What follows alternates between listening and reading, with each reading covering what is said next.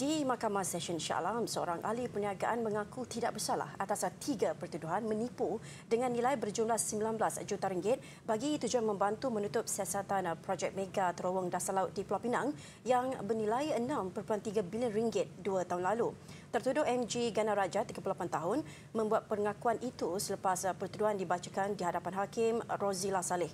Mengikut semua pertuduhan, tertuduh didakwa telah memperdayakan seorang pengarah syarikat sebanyak 19 juta ringgit bagi menutup siasatan yang dilakukan Suruhanjaya Pencegahan Rasuah Malaysia SPRM di bawah Akta Pencegahan Wang Haram, Pencegahan Pembiayaan Keganasan dan hasil daripada aktiviti wang haram 2001.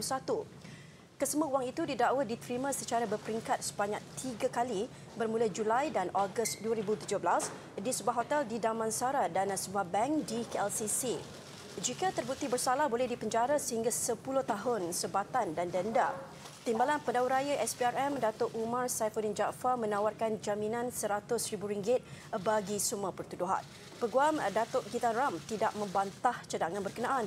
Mahkamah kemudian menetapkan tertuduh diikat jamin RM100,000 bagi semua pertuduhan dengan seorang penjamin dan pasport antarabangsa diserahkan kepada mahkamah. Sebutan semula kes 6 Mei depan.